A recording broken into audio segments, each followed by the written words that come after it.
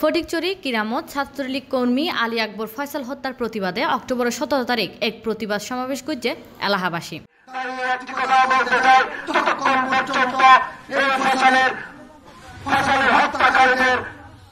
সমাবেশত বক্তারা হয় করেছে আমি এই ওয়াদা দিলাম, আমার মতের আগ পর্যন্ত এই যতক্ষণ এই ফয়সালের এই নৃসংহ হত্যার বিচার না হওয়া পর্যন্ত ইনশাল্লাহ আপনাদের সাথে আছি। আব্দুল লতিফের সভাপতিত্বে প্রতিবাদ সভাত উপজেলা ছাত্রলীগের সভাপতি জামাল উদ্দিন ইউপি সদস্য সুলেমান ডাক্তার সাধন চন্দ্রশীল সাবেক ইউপি সদস্য হাজি আব্দুল সালাম সাবেক ইউপি সদস্য বসর মাস্টার সোহরাব হোসেন মফিজুর রহমান মোহাম্মদ নাসির মোহাম্মদ সৌরভ মাওলানা দিদারুল আলম নুরুল হুদা ফাহিম মোহাম্মদ হোসেন সোলামেন সহ আরবতকে উপস্থিত আছে।